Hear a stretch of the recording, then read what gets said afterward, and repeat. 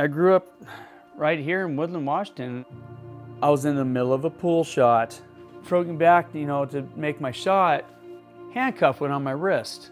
And all of a sudden, I'm getting questioned. I was being basically framed up as one of the perpetrators that uh, raped this woman. And I was just thinking, they're gonna figure it out.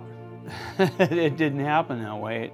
They were trying to trick question me and they decided to do the physical lineup. And I thought, God, about time. When we get out of this, you know, leave me alone.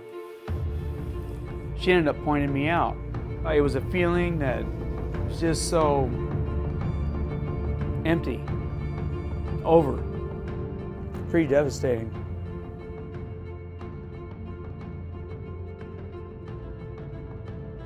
Man, this can't be it. I mean, this can't be the end of my life. You know, there's got to be something that's going to reverse this. It was 2003 when they came out with the mitochondrial DNA testing, where they only needed skin cells. One of my cellies, happened to be a good friend of mine, told me about the Innocence Project.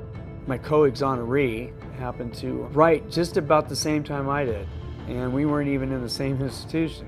When they wrote me back, I kind of laughed. I thought, finally, my attorney, he wrote in his letter, uh, sorry, unfortunately, there's uh, really nothing to pinpoint, blah, blah, blah. And I just, oh, I fell apart, wadded up and threw it in my cell. And I hadn't looked at it for probably a couple days.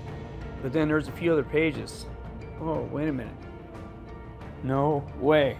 And I got on the phone. Jackie, I said, this coding matches this coding. Am I, am I seeing something wrong here?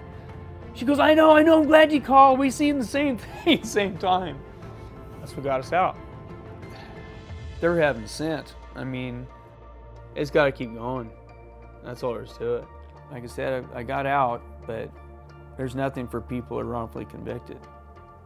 Just like, oh, well, you're lucky you even got this kind of attitude, you know, good luck. What about the guys that don't have any family anymore? The Innocence Project, that was, I mean, they're my family.